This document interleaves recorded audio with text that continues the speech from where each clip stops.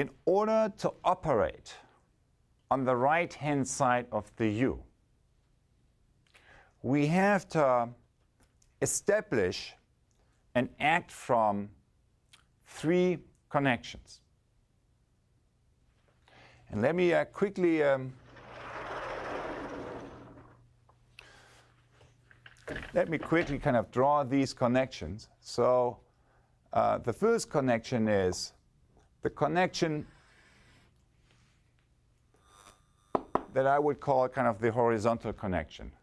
And the horizontal connection is really kind of what the whole co-sensing and observe-observe space is all about, which is that I get out of my own bubble and I connect with all those other places and people and stakeholders and perspectives that are outside of my normal territory. Kind of that is number one, kind of the horizontal connection, the sensing connection.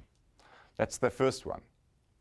The second one is the vertical connection. It's not just this, it's the vertical connection. And what is the vertical connection about? The vertical connection is eventually about connecting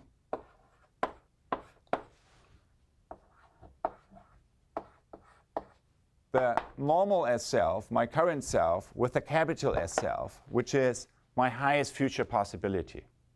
So that's the vertical connection. That's the second one. And then the, the third one is as you begin to connect these two connections and relate them,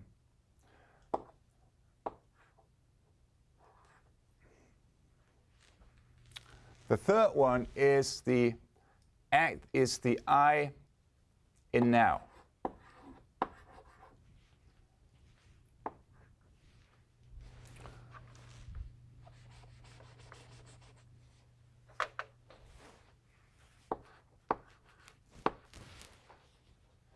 The I in now is to attend to that, what is um, emerging from the now and beginning to operate from that.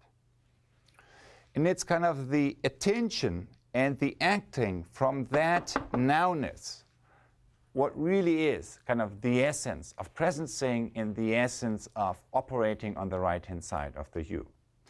Now, if you look at that, that looks simple, right? It's really kind of, it's linking both the horizontal and the vertical connection and beginning to operate from the now. It sounds so easy, but in reality, that's exactly the biggest challenge we have. And, that, and it's partly because there are kind of four major distractions that every single moment try to prevent us to operate from that space. And we all know these distractions very well. The first distraction is called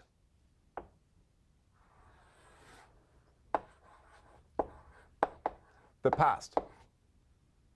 Right? So the past is that my mind, rather than focusing on the now, is all hung up with what happened yesterday and you know what um, I should have said and um, what um, these people did and that people, those people did. So it's the past that our mind kind of constantly goes back into the past rather than staying tuned and open with what's emerging from the now. That's the first distraction. But that's not the only one. The second one we also know very well, and that distraction is called the future.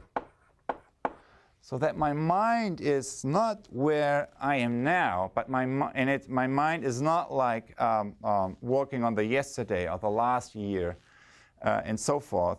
But it's kind of uh, focusing on tomorrow, the day after tomorrow, what I will be doing next, what um, you know, my, my next to-do list that I have to be, have in mind uh, as I move into the day after tomorrow. It's, it's not here, it's in the future.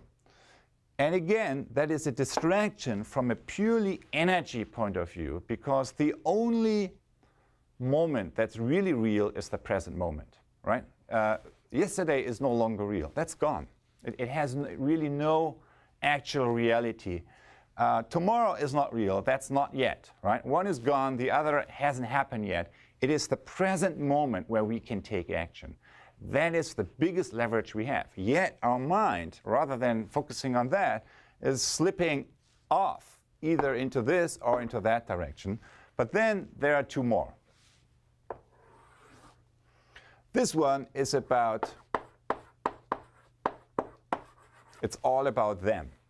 So how often are we in, in conversations where you know, we worry about and we get riled up kind of what they did and what they should have been doing and what they ought to be doing tomorrow and so on and so forth. And yet, it is like wasted energy because all we can control is what we do ourselves.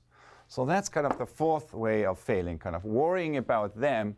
And then the last one, of course, the complement is it's all about me, right? So rather than focusing on what's emerging here from that larger field of nowness, I focus on um, what will happen to me if, if I let go of this, kind of what will be my new place. And so I get worried about um, you know, uh, either my yesterday or my tomorrow, or what might be the impact to me. And yet, so although that's understandable sometimes, it is a distraction.